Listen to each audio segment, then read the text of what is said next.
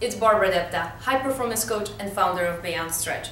Today I would like to share with you great core exercise that's going to help you to have a better structural balance and of course is going to contribute to your healthy back, which is really a key for healthy posture and again, perfect postural balance.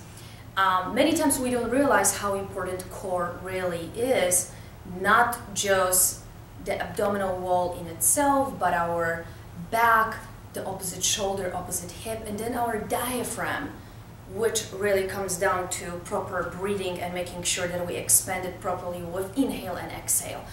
And that will come with the next, I would say, video clip that I have for you. But for this one, I want to share with you basic and more advanced exercise, core exercise that I truly believe some of you would love to do at the gym just to challenge yourself more on the pull-up bar and some of you will and be able to actually do some of the exercises at home against the wall. Very easy, yet different than the typical crunches. I have maybe not too much against them, but most of the time they're being done in an appropriate way causing more injuries than actually helping the strength of your core. So follow me if you're a more advanced person or a fit guy or a gal and we will do not too hard but challenging enough abduction and abduction. Make sure you're breathing.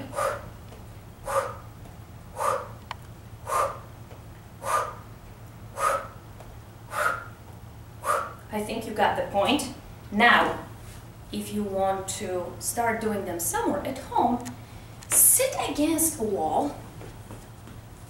And again, start with a one leg first before you will go to two. So lift it off the ground and then go away without helping too much of any part of your body. Complete isolation. So flex, abduct, drop it down. Side, down. One, two, three, four. Start with that. And then if you feel you want to challenge yourself more, we used to do it in fitness, L press.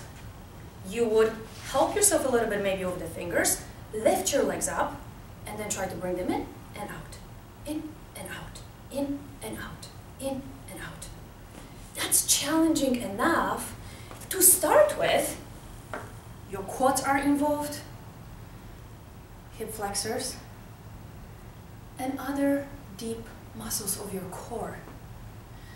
Without thinking how many muscles are involved, just think that the entire front of your deep fascia line is being trained and it's being engaged and it's being challenged and it, that's one of the most important lines in our body that allows us to stand straight without collapsing and really having graceful posture and a healthy structural balance. So there's a lot of benefits of that one exercise without even doing any breathing exercises, which again are very essential and will definitely be explained to you on the next video. So with that, I hope I raised a little bit of a blood flow in your body and I hope that I engaged your core properly. And with that, I wish you an amazing day full of joy and energy.